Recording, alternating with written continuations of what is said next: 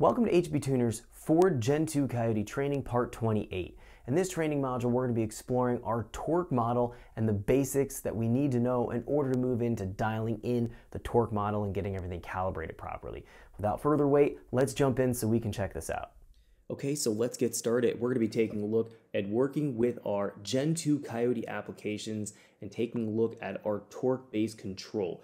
This tutorial is going to be focusing on the basics, the fundamentals of our torque-based control, understanding how this all works, how the tables all fit together, and the flow of logic. The next tutorial, we're going to dig into how to actually calibrate our torque-based control system if we have torque errors that are being generated and we need to fix our torque model. So let's jump in here and let's talk about our fundamentals. Now, the very first thing we want to do here is open up some calibration files so we can take a look at both the automatic and a manual transmission file. There are slight differences specifically in our driver demand table that I want to go and illustrate and highlight here when we get onto the topic of driver demand and how that fits into our torque model. Now, in my VCM editor software here, I have my auto transmission file open here, so 2017 Mustang GT Auto. That's found in our training course folder under our Mustang file example folder. And then we're going to find that we also have uh, the year that's separated 2015, 2016, 2017. I went into the 2017 folder and I grabbed the automatic transmission file. Now I'm going to also open up a manual transmission calibration file. I'm going to open up open that up in a separate instance of the VCM editor software because if we do a comparison feature, it's not going to show the driver demand tables properly. So let's go down here. I'm just going to type down here in the search function VCM editor. Open up another example here of the manual transmissions. Let's give this a second here.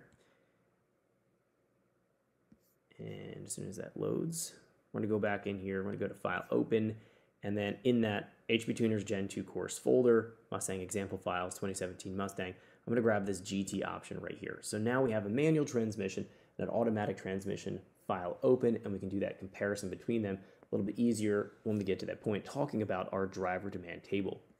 So what we're going to find here is that within the torque-based control, the engine control module is going to understand what the torque output of the engine is going to be at any given time, knowing the airflow coming from our airflow model, knowing the spark timing we're commanding versus what's known as maximum brake torque timing coming from the MBT spark timing tables.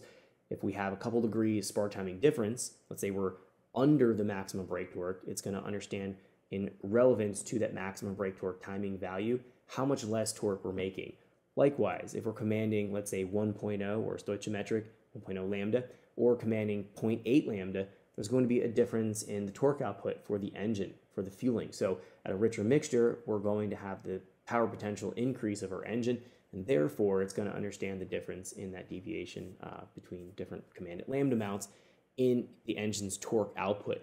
In addition to this, we also have frictional losses the engine control module is going to take into account that's already been modeled from Ford. The frictional losses will account for any kind of uh, uh, viscosity differences in our oil temperature or things of that nature, any kind of uh, drag that's on our engine. So if we have the air conditioning on versus the air conditioning off, the drag of the AC compressor running, it'll be able to model that and it's going to translate that back into the engine control module. So everything is going to essentially be characterized so that we can have a precise calculation of torque at any given time. It's actually a really, really neat system. And as long as you're keeping everything in order in terms of making sure your airflow model is solid, so the mass airflow, speed density is dialed in, that's all good, and making sure that uh, you have no torque errors in your system, which we'll talk about how to tune out torque errors in the, in the next tutorial um, everything will do exactly as Ford programmed. And it's actually a really, again, really, really neat system, and it works extremely well. Now, there are some other factors within the torque-based control. The torque control is used in both our throttle body drive-by-wire control. It's also used in uh, uh, the traction control. Um, so there's going to be a, a couple of variations of the way the torque system can be implemented within the engine control module. But essentially, if we want to control any output from our engine and be able to account for anything that's going on, everything will be modeled in language of torque, mm, from our idle control all the way to traction control. So it's all kinds of variables that it's going to take into account. What we want to do is understand the fundamentals of the actual torque-based system so that when we're moving into calibrating the torque control system, things will make a lot more sense and uh, you won't be blindly going about making changes. So we'll have a little bit of an order that we understand um, how the flow of logic works within the engine control module's programming. So first thing I want to do here in the automatic transmission file, I want to go through and just point out some key tables within the torque-based control system.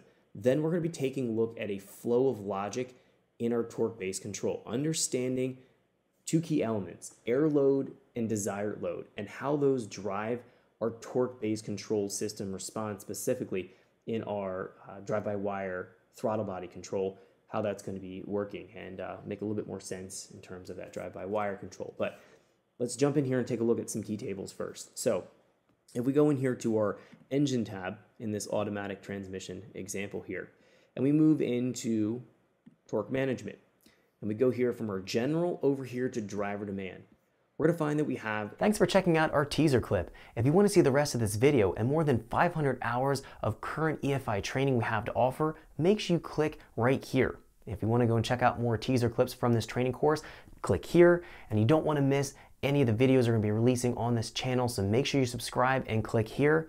Thanks for watching, and I'll see you guys later.